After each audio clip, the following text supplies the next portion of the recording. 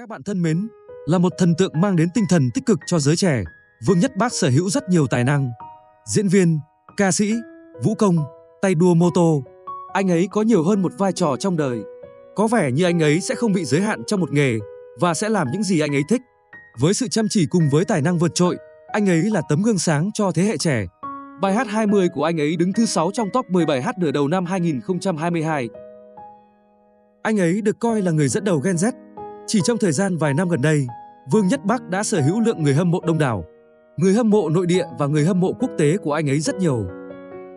Vương Nhất Bắc sinh ngày 5 tháng 8 năm 1997 tại Lạc Dương, Hà Nam, Trung Quốc. Chỉ còn vài ngày nữa là đến sinh nhật Vương Nhất Bắc.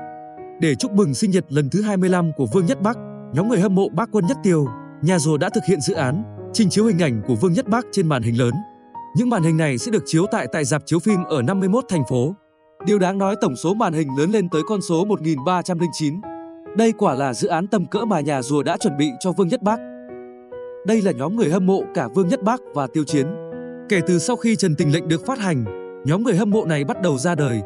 Đây là couple được quan tâm nhất giới giải trí Trung Quốc. Siêu thoại của Bắc Quân Nhất Tiêu hơn 3,7 triệu người quan tâm. Điều đáng nói nhóm người hâm mộ này có mặt cả ở Trung Quốc và nhiều quốc gia trên thế giới. Họ cũng tổ chức rất nhiều hoạt động từ thiện dưới danh nghĩa nhóm người hâm mộ Vương Nhất Bác, Tiêu Chiến. Tiêu biểu như xây trường học, hỗ trợ các vùng dân cư khó khăn, vùng sâu vùng xa, ủng hộ vật tư chống dịch và nhiều hoạt động thiện nguyện khác. Một số nguồn tin cho biết Vương Nhất Bác sẽ nghỉ vào đoàn phim cho tới tháng 9. Tin đồn cho thấy vào ngày 3 tháng 8 anh ấy sẽ dự liên hoan phim khung hình đầu tiên.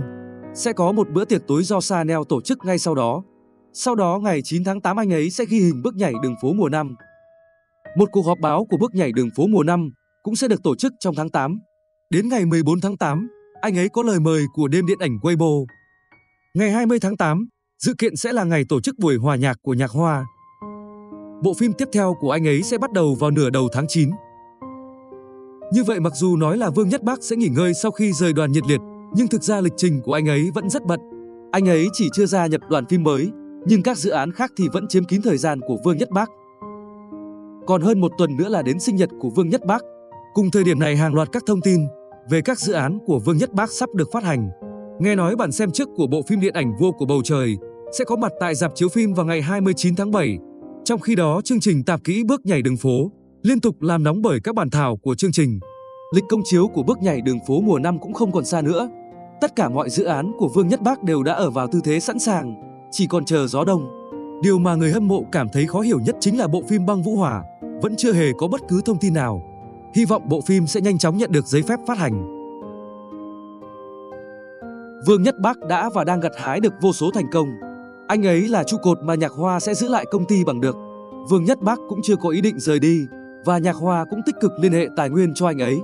Hiện tại người hâm mộ của anh ấy vẫn đang tăng dần cả về chất và lượng.